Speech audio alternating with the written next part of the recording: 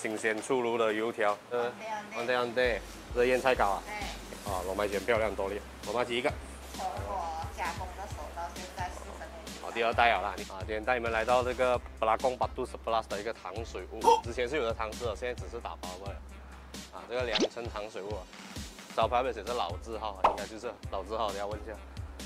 哎，老板娘啊，这里没有的做这了的，没有了，没有人手。哦，没有人手啦，哦，现在是只是做打包了。对，这张大刀什么来的？粉和面，啊，米粉面啊，来一包哦。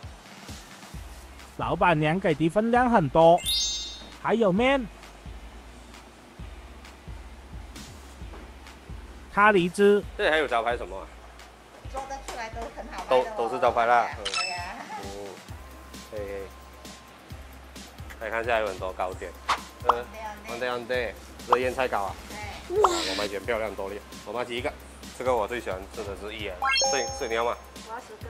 十个啊，啊，不要钱了，就买给你先。刚出炉热腾腾的油条，新鲜出炉的油条，这个有一条，啊，这个很特别、啊。老板娘这什么来的？安菇有红豆有绿豆，哇，骨可以这样特意哦，无字的，一样一个啦，好了，一样一个。有点的红豆，没有点的绿豆。今天有什么糖水啊，老板娘？今天有红豆，红豆，火锅恰恰，我觉得多料。马豆。马粥，老板一样来一个。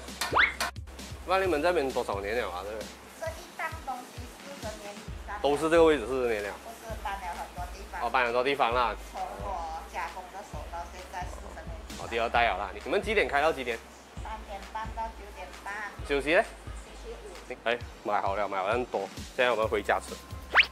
哎，已经回到家了啊，还有很多战利品。来给你们看一下我叫了什么。这里有五个、很难受，还有这个我自己是叫炸弹的东西啊，里面是花生的。这炸萝卜糕、油条，很多的糯麦鸡，还有安菇龟，还有这个小叶子菜叶啊。糖水我就叫完今天的三种，有红豆、马粥、么加加。啊，我个人是喜欢吃红豆啊，红豆是我的啊摄影师。放心，摄影师不会跟你抢。红豆水是蛮多渣的，红豆水不错，有保留一些古早味，而且不会太甜。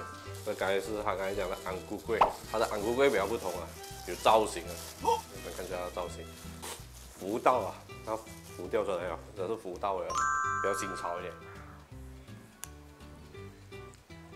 外层很好咬一下，啊，这是红豆的，不要看它小份，很少一下。再来一个满足我每次的小孩子要求的菜叶，哇，菜叶漂亮，我看样子是蛮淡的，就很像小时候去自己做的那种菜叶那种感口感，没有什么那些特别复杂的味道哎，就是咬下去有这种回忆感，哦，古早味，突然就好像变年轻了。